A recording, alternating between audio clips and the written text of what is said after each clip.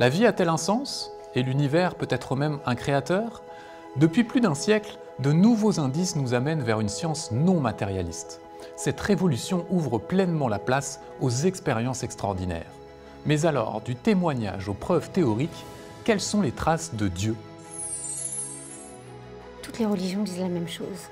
Elles partent toutes d'amour. Pour toutes les mystiques, amour est l'autre nom de Dieu. Dieu est logos, c'est-à-dire qu'il est rationalité. Si Dieu existe, ça donne à la vie une valeur beaucoup plus grande. Il m'a murmuré que euh, ce que je suis est beaucoup plus immense que toutes les définitions que je peux apposer à mon être. J'ai découvert qu'on était sur Terre pour trouver la joie. Ça, je ne savais pas. La science conclut qu'il existe un au-delà de la science, dont elle ne peut rien dire sauf qu'il existe.